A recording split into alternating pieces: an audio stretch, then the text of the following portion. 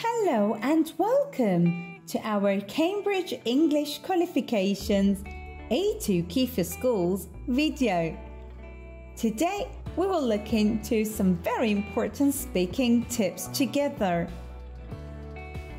There are two parts in the A2 Key speaking paper.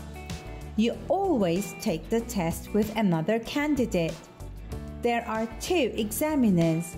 One examiner talks to you and the other listens. Both examiners mark your performance.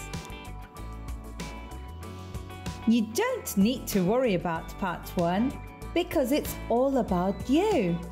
You will be asked some factual questions about yourself. Here are some sample questions from our lessons. How do you spend your free time? Do you like learning different activities? Where do you like to go during your free time?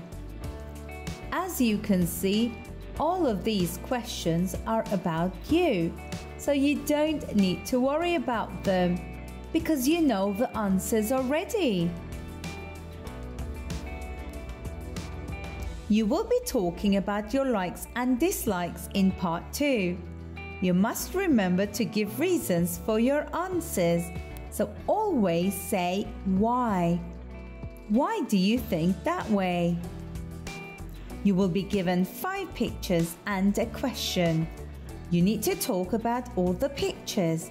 Remember that in this part of the exam, you will talk to the other candidate. Here is an example question from our A2 Key course. Do you like these places? Say why or why not.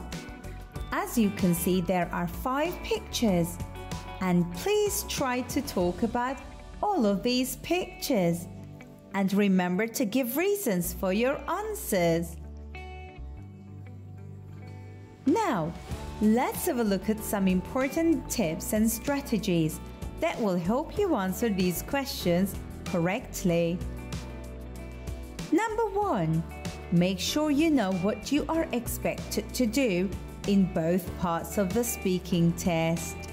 What types of questions are asked? Hmm. Let's have a look at tip two. Practice English whenever and wherever you can. Learn about the expectations. What kind of vocabulary and grammatical structures are you expected to use? Hmm. Watch some sample videos with examiner comments. Very important. Do mock exams. It would be great if these exams are marked by an expert. Here is our next tip. Make sure you feel ready and confident before you register for the exam. Ask yourself this question Am I ready? What should I do during the exam? Hmm. Greet the examiner politely. Say hello. Make eye contact and use gestures and facial expressions throughout the exam. Listen to the examiner carefully to ensure full understanding. Speak clearly, trying to pronounce all the words correctly.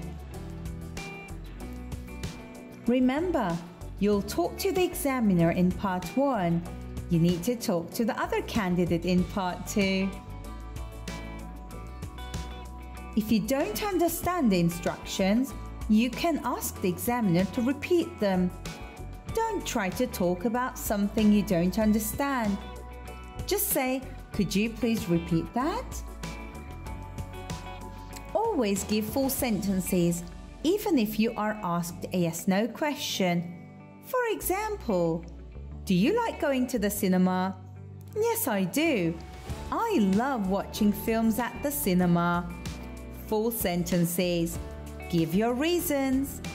Try to sound natural. Do not give memorized answers because examiners are trained to understand if you have memorized your answers. Sound natural. Remember that you need to let your partner speak as well. Ask your partner questions, trying to turn the exam into a natural conversation. There anything we shouldn't do? Hmm. Remember that everyone makes grammar mistakes. Don't worry about it too much. Don't memorize your answers. Try to learn them instead. Remember that the examiner can stop you during the test. Don't worry about it. It just means time is over. What should I do if I don't understand a question? Hmm. This is one of the most common problems students have in the speaking exam. Don't worry if you don't understand the question. Ask the examiner to repeat it, but remember to ask it politely. I'm sorry, could you repeat that, please? What should I do if I don't know what to say and I just freeze? Some students freeze in the middle of the test. It usually happens when they don't know what to say, especially if they don't know much about the topic. Hmm. Don't panic. This won't happen to you if you prepare well for the exam. All you need to do is to learn some useful vocabulary. Once you familiarize yourself with the most common topics in the A2 Key speaking exam, you can learn some useful vocabulary that you can use to talk about these topics. If you freeze, all you need to do is to take a deep breath and think about the question again. You can buy yourself some time by saying, Let me think. The examiner will wait for you for a short time.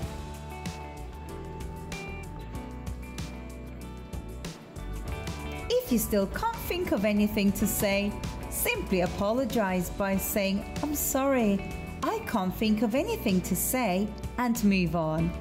Don't let it ruin your whole exam. Remember, there are more questions to answer. Remember, practice makes perfect. Make sure you prepare well and practice as much as you can.